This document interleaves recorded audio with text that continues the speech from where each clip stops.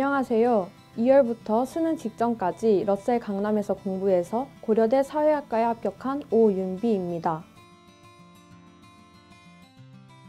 재수를 결심한 후 저는 고3 때와는 다르게 어떻게 공부할지를 고민했습니다. 학교와 같이 과목별로 짜여진 시간표보다 제가 부족한 부분을 원하는 만큼 학습하는 방법이 더 성공적일 것이라 생각했습니다. 관리를 철저하게 해주는 학원을 고민하던 도중 러셀 강남을 알게 되었고 학원 시설과 프로그램 모두 제 성적을 끌어올려 줄 것이라는 확신을 얻어 선택하게 되었습니다. 매일 아침, 점심, 저녁마다 담임 선생님들께서 체조와 함께 응원의 말을 전해주시는 게 매우 좋았습니다. 스스로 저를 다독이지 못할 때도 담임 선생님들께서는 메시지를 통해 매 교시 응원받으며 공부하는 느낌을 주셨고 누군가 이 힘듦을 진심으로 공감해 준다는 것에 큰 힘을 얻기도 했습니다. 또한 다른 친구들의 공부하는 모습을 볼 수 있다는 것 또한 큰 자극이 되었습니다. 제가 공부를 끝내고 집에 가는 그 순간에도 자리에 앉아 공부의 열기를 불태우는 많은 친구들을 볼 수 있었습니다. 양승진 선생님의 강의가 가장 좋았습니다.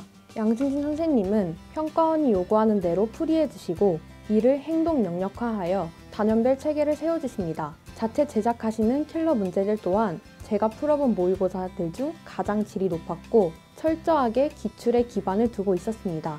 이번 수능에서 제가 가장 걱정했던 킬러 문제 또한 그 행동 영역으로 모두 풀어낼 수 있었습니다.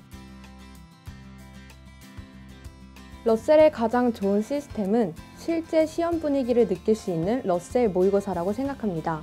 저는 모든 러셀 모의고사를 꾸준히 응시해 왔는데요. 자습에서는 발견할 수 없던 제 약점을 깨닫게 했습니다. 또한 예측할 수 없어서 때로는 당황시켰던 문제들의 난이도는 이번 수능에서 제가 당황하지 않고 침착하게 문제를 풀어낼 수 있게 해주었습니다.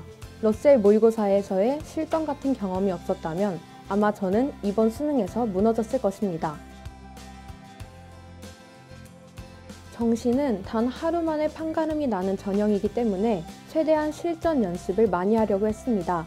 하지만 실전 연습만큼이나 오답을 낸 저의 사고 회로를 바로잡는 것도 매우 중요하다고 생각했습니다. 때문에 과목별, 유형별 잘못된 사고들과 이에 대한 주의점을 꼼꼼히 적었고 행동 영역화하여 이를 수능 시험장에 들고 가 시험 직전까지 되뇌었습니다. 저는 항상 수학 점수가 낮았습니다. 이에 저는 많은 문제집 풀기를 포기하고 양승진 선생님의 기출코드 하나로 개념과 평가원식 풀이법을 반복해서 학습했습니다.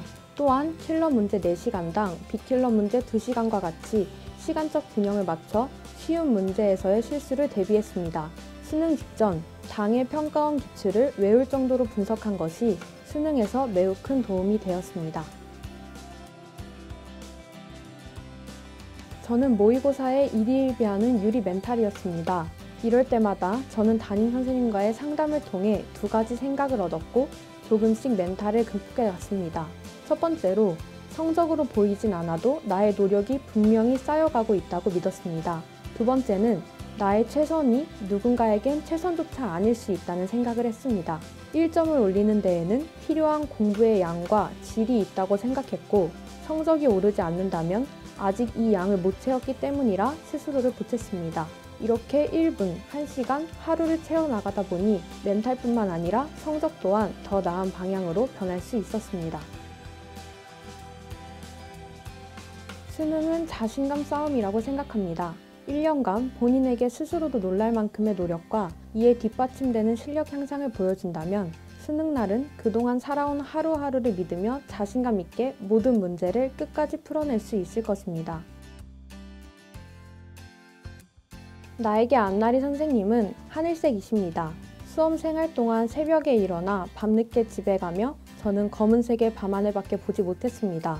성적도 공부도 항상 어두웠고 미래도 깜깜했습니다. 하지만 담임 선생님의 따뜻한 말씀과 눈빛들은 제게 밝은 하늘색이 되어 주셨습니다. 나에게 러셀 강남은 용광로입니다. 용광로의 뜨거움을 버티고 철이 만들어지듯이 러셀은 제 인생 가장 뜨거운 순간이었습니다. 주위에 공부하는 친구들을 보며 매 순간 도전받았고 불가능해 보였던 무언가를 성취해낸 경험으로 자신감 있게 살아나갈 수 있게 해주었습니다.